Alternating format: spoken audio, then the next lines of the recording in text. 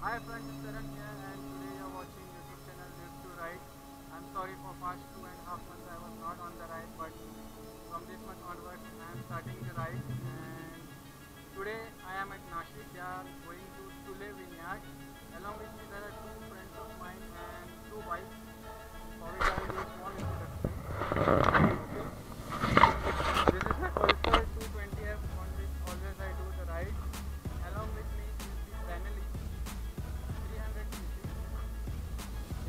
College friend Nitesh Diver. With 300cc engine, twin cylinder. And he is my another friend Lavish Shetty. Okay, so we are starting our ride. Once we will reach Sule Vineyard, I will continue my vlog. Till then, enjoy the ride.